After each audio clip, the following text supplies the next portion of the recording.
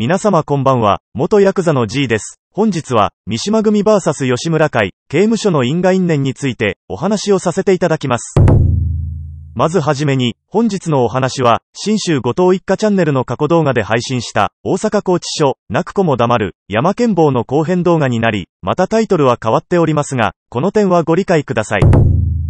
泣く子も黙る、山健坊でお話をしたように、当時の山剣組は、かなりの若い衆がいており、その中でも、剣竜会系三島組という組織は、世間のヤクザ者からは、何でもありの三島組と言われ、組織から処分されたものを、お構いなしに拾っては、組織を膨らましていたが、当然ながら寄せ集めの組織であるがゆえに、結束力というものは全くなく、ただただ、三島の大門を盾に、生きがっている者が多くいており、このような流れの中で、大阪拘置所に収監されていた、三島組の若い衆が、同じ棒で共に生活をしていた、山県組同門組織の、吉村会の若い衆を引き抜いた、そして、この棒のほとんどのものが、山県組の若い衆ばかりであったことから、拘置所内では、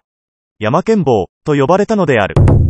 三島組系、尼崎山陽商事の T という男が、吉村会の若い衆を引き抜き、高知所の棒で水杯を交わし、吉村会の者は、T の射程となり、出所後は必ず、山陽商事に移籍すると約束をした。ちなみに、T は、刑期は約2年未満。一方の吉村会の和解衆は、刑期が約2年6ヶ月であった。T と和解衆は、さほど刑期は変わらんかった。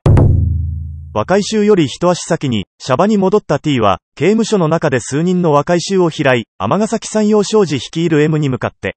兄貴、無所の中で若い衆を開い、そいつらはうちに移籍することが決まって万年、あーせやせや、それと近々、吉村会の若い衆がシャバに、戻ってき万年けど、この男にわしは射程の杯を下ろした、兄貴、山県の同門の門やけど、うちに移籍させても問題をまえんな、と T は組長である M に聞いた、M は、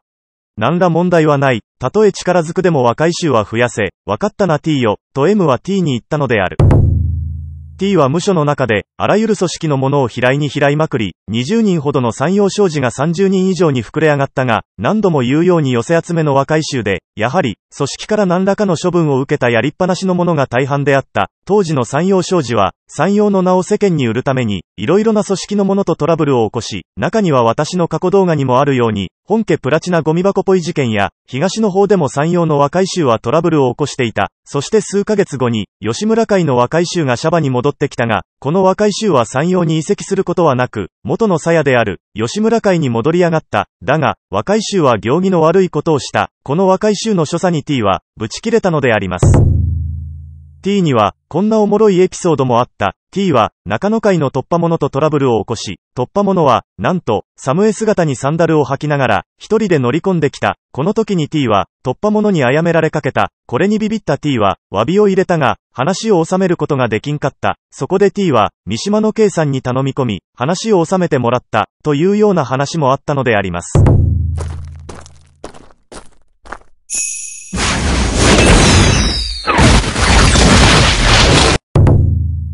吉村会の若い衆はシャバに戻った後に、先にややこしい三島組の移籍問題を解決するために、己自ら、T に連絡を入れず、A という男に連絡を入れさせた。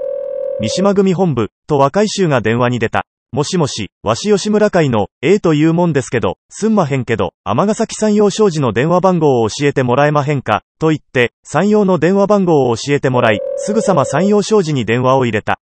山陽商事、と若い衆が電話に出た。A は再度電話に出た若い衆に向かって、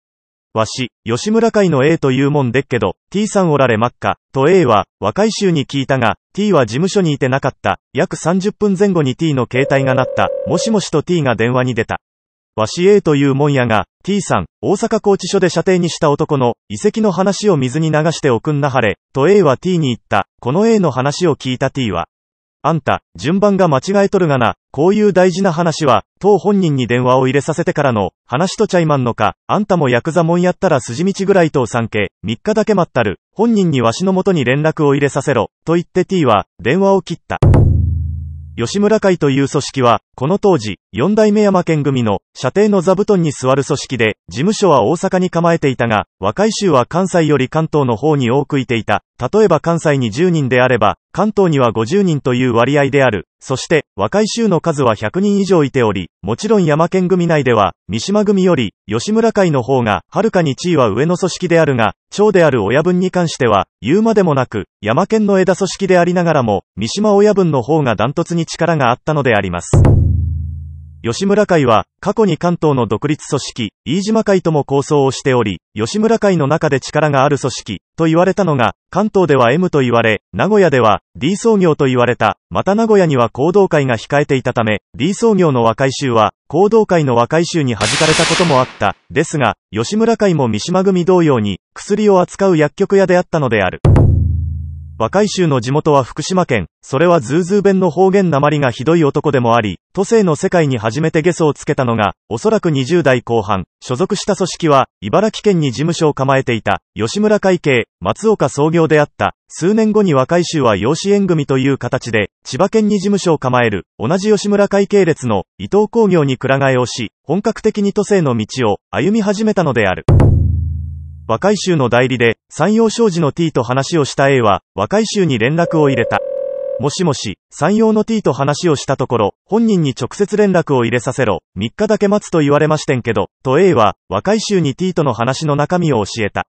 そうが、そういう話だらもうほっとげ、T も伊豆川自然さ忘れるやろ、その時まで待ちずしかねえの、もし T 柄連絡が入った時は、わしどは連絡がどれんとでも言うどげ、と若い衆は、ズーズー弁で、A に言ったが三島という組織は、それほどに甘い組織ではなかったのである。4日が経っても5日が過ぎても、一向に、代理の A から連絡がなかったため、T は A に連絡を入れた。おいこらどチンピラ、己いつまでまた好きじゃ、ヤクザモン同士の約束事を、あやふやにしとったら、玉の取り合いになりますせ、若い衆はどこにおるんじゃ、さっさと居場所を言わんけ、と T は、一方的に言った。すると A は、おどおどした声で、てめえ何上から物言ってんだよ、この落とし前どうつけてくれるんだ、と A は、T に牙を剥き出した。我、何を眠たいこと抜かしとんじゃ、落とし前は、こっちのセリフやないけ、どこまでもわしのことをアホにするんか、行く道行きまっせ、うちには、走る若い衆は行さんおるで、と T は A に、かましを掘り込んだ、かまされた A は、T さん、ちょっと話を聞いてください。自分はすべて話をします。その代わり、自分だけには何もしないでください。いいですか？と A は、T に泣きつきやがった。T は再度 A に向かって、話とは、なんじゃ、と T は A に聞いた。T さん実は自分は、ヤクザではなく、全くの仇です。と A は T に言った。この A の言葉を耳にした T は、我、ちょっと待たんけ、確か、己は死に吉村会の A と言うたの、どういうこっちゃ、吉村の大門を語ったんか、と T は A を問い詰めた。自分は、秀夫さんに数万のお金を借りてまして、借金をチャラにしたる代わりに、T さんに連絡を入れとけと言われただけで、正直話の中身は、わからんのですよ。秀夫さんの今住んでる場所はわかります。なんなら教えましょうか。と A は T に言った。T は一瞬考えた後に、えいよ、とりあえずわしと己が、今日話をしたことは、秀夫には内緒にしとけ、不意を狙う、うちとこも今は、関東の者と色々トラブルがあっての今日明日には道具を持って、関東に入る計画じゃ、秀夫のことは二の次や、えいよ、しばらくの間、秀夫を見張っとけ、本での、今日から我は、うちの若い衆や、と言って T は、電話を切ったのであります。この関東のトラブルというのが、三島組の若い衆と、小西一家、堀正連合の若い衆が、埼玉県でしのぎのトラブルを起こし、堀正連合の若い衆が、三島組の若い衆二人を連婚で殺めた、場所は、千葉県内のファミレスであった。T が A に言った、関東のトラブルとは先ほどに述べた、堀正連合の件で、この開始をするために、山陽商事の若い衆は事務所に集まった。だが不思議なことに、山陽の事務所に札が乗り込んできた。集まったすべての若い衆は、狂気準備集合、及び結集罪で、札に一網打尽された。そして拳銃一丁と弾が押収され、あっけなく、尼崎山陽商事、M 組長と T は御用となった。このような理由で、吉村会の若い衆は助かった、というお話であります。最後に一言、小西一家、堀正連合という組織は、かなりの武闘派組織で、また三島組も武闘派組織であるがゆえに、構想の手打ちの落としどころはなかったが、堀正が三島の若い衆を二人も殺めたことで、この三島 VS 堀正連合の喧嘩は、堀正の勝ちと言われ、また、堀正側が詫び料として、三島親分に銭を包んだ、その額、数億とも言われた。そしてなぜ、山陽の和解衆が、一網打尽されたのか、これは噂の一つであるが、T が A に余計なことを喋った、どん詰まった A が、殺に密告した、というような話もあった。それともう一つ、今回の山陽の T が、吉村会の和解衆である、秀夫を引き抜いたことで、吉村会も最後は、三島組とドンパチをする腹であった。次回の動画は、山県道士会、神戸乱闘事件、通称、奄美の猛牛こと、あたえのりかず、実は喧嘩が強かった、クエスチョン、というような、お話になりますので、ご視聴のほどよろしくお願いします。